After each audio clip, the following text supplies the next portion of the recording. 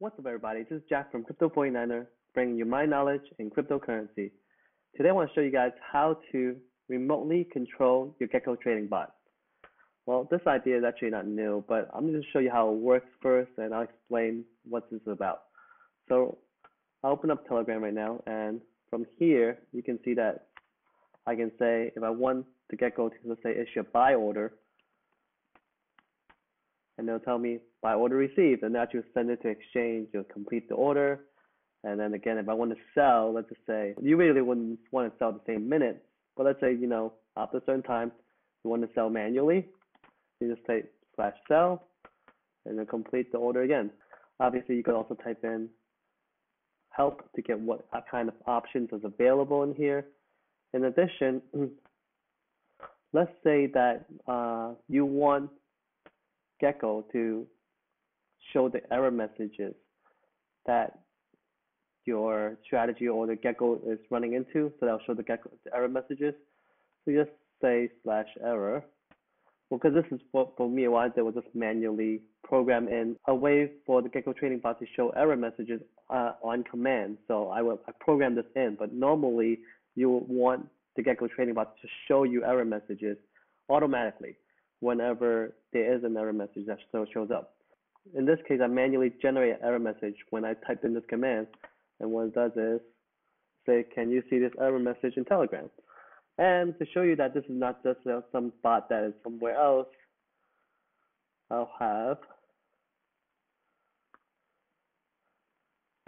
you can see here on the right hand side, this is what's been happening. And actually, if I type in a message right now, you'll see on the right hand side, let's say if I want buy again, so actually execute a buy right there, a buy equal long. So just execute a buy order. So again, if I do sell, it'll execute a sell order. See, a buy equal short and tell me the round trip. So, and finally, if I say slash error, you'll see, can you see this error message in Telegram? And then it shows you, can you see this error message in Telegram? So it does show you that error message. So how does this whole remote control thing work? This whole idea was uh, created by this guy Zappra on the Gekko forum. So this idea is to initiate manual buy and sell calls and tweak strategy parameters on the fly. So query internal states all these stuff they want to do. But so far, from what he has built out, the only thing that really works is the manual buy sells, and the query internal state, I guess, probably like getting error messages. That's those are the only two that really works. So I mean, send message from your strategy via Telegram. It's kind of yes and no, and I'll explain that in a bit. But let me go through the installation process first to get this installed on Gekko. So right now, what you have to do is to pull down a Gekko version from his repo, which is over here. So Again, if you read um, the instructions from Ask Mike, he would prefer that you download only from his repo because you don't know. I mean, anyone can add these random code in there that can potentially steal your API keys.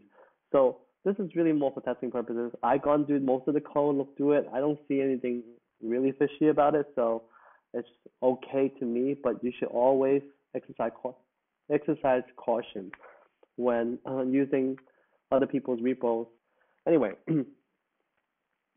so here's where a lot of people get into trouble right off the bat.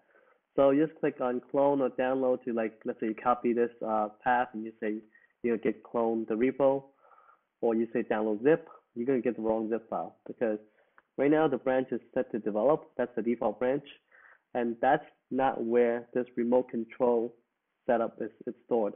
It's actually stored over here under commands and remote logging. I don't know why. It was a pain in the butt. I think I got into this early on when I first tried to want to play around with it because this this setup he did it way back in April. So I think I tried to play around this around like May or June, and I couldn't get it to work at first. So the main reason why I couldn't get it to work was because I was on a different branch. I mean, silly me. So, but um, as long as you download from the right branch, so there's a couple of ways you can download it. So either once you switch to the branch right here, again, you're back, you're on commands and remote logging. From here, you click on download zip, you will download the correct zip file with the necessary modifications. If you want to do it via command line, you will have to use this git clone github zappra github gekko.git dash b, which is um, the branch, and the branch is commands and remote logging. Once you do that, you'll be able to download that specific branch and you'll be able to use the remote control functions that Zappra uh, written out. Here's another thing. Once you do that, that's not done because you have to go into the Gekko directory, so cd gekko, once you da download it, unzip it, whatever you have to do. And then you have to install TG Fancy. So the npm install tgfancy, kind of similar to how you install the ta the ta-lib or the tulip libraries. Well, tgfancy is really just a fancy high-level wrapper for the Telegram bot API. So by default, Gekko uses the tel the default Telegram bot API, and that you install it. Actually, I believe when you install the npm install dash dash only equal production, you follow all the dependencies in here. Will it'll install the Telegram bot API. But because there's certain functions required for the remote control that Zappra uses, he decided to use tgfancy instead of just a node Telegram bot API. I think one of the main things is because he wants to order how the messages shows up. Once you go ahead and install tgfancy, as I said here, then you should be able to run Gekko with remote control. But here's the thing, within the config file that you use for command line, so this is what I have here, and this is the Visual Studio Code, and might look a little different because I have the debug console trying to debug something within this remote control setup of Gekko. But anyway, inside the config file right here, you will want to use the method command because this is the strategy that Zappra written out that will work with this remote control setup. So when you use commands, when you open the command file, you see that it basically is empty. Like everything here is, uh-huh, the init is empty, the update is empty, log is empty, the check is empty. There's a separate section called on command, which handles the, com the command function of um, the remote commands you can send out. So right now he built out the, these three. Well, he built out three. I actually added this fourth one right here. So he built out the help, buy, and sell.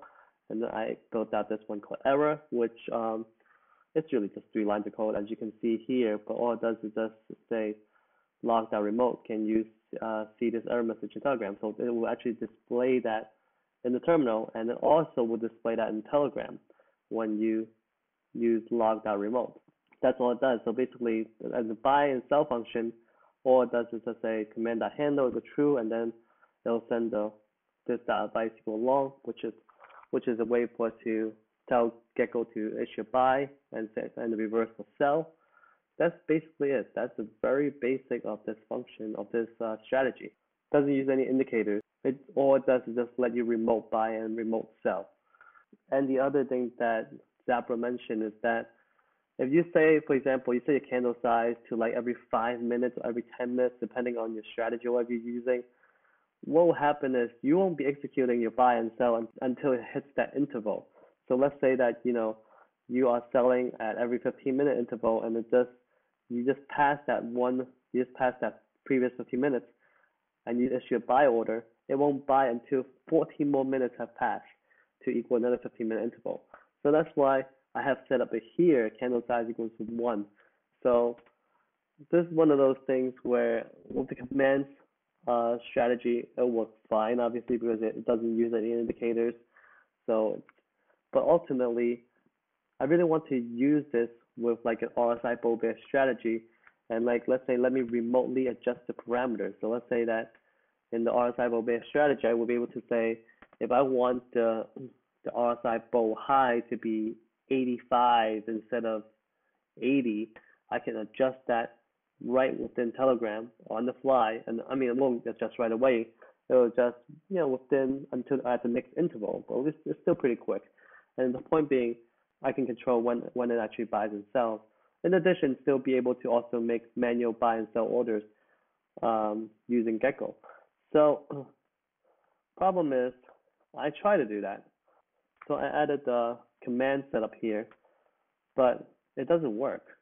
So it actually just freezes. When I added it, it just freezes. I'll actually show you the error message. Right?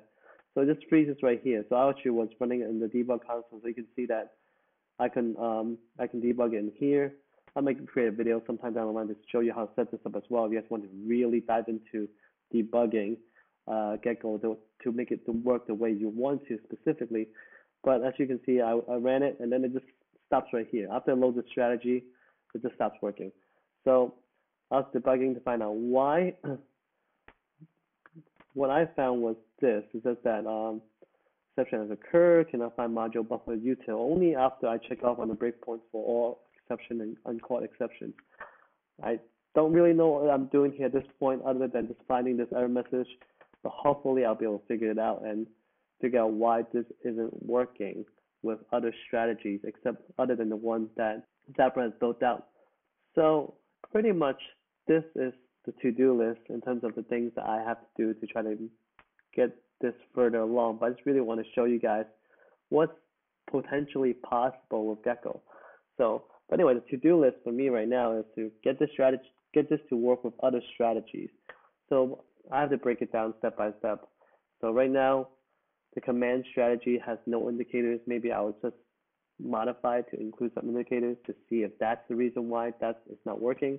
Other people on the forum, someone did mention it on the forum right here. I think that um, it just they mentioned that it just it doesn't crash, but it's stuck on the start screen when the logo is shown and it starts running settings plugins.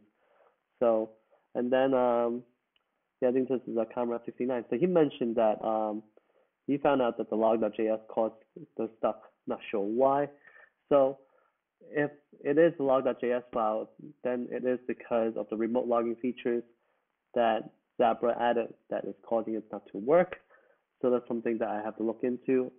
Um, not 100% sure yet, just because the error message says something else. The error message says was that it was a bufferutil issue, but again, not exactly sure. So the other thing is to get this to allow changing strategy parameters. So this is something that I wonder if it will work for, but then since I'm able to, because right now I can get Gekko to report the strategy parameters, and but to change it, like because does it stay in memory or is it something that reads from the file? I don't really know. So like that's one thing that I have to test, figure out, and see if I can get to work. And finally, to get this to work with Gekko 0.6, again, like Ask Mike recently released Gekko 0.6, I think it was beta version, but still he released it, and then now there's a lot of features in there that he added that is not compatible with the version that Zappra uh, written the remote control for because he did it back in 0.5 and changed. So it probably won't won't work. And even the pull request that Zappra opened, it doesn't even because he did it with some older version, old code, I guess. So there are a lot of conflicting files, and it doesn't even um, can't be pulled into Ask Mike's uh, repo. So that's the reason why this isn't part of Gekko. But if you do want to play around with it, I have pretty much given you all the instructions so that you can test it, play around with it, see if it's something that you guys uh, find useful. So anyway, guys, that's my video for today. Let me know what you guys think. Leave a comment down below. Like and subscribe. If it isn't crypto, it isn't worth mining. It isn't worth speculating. Peace out.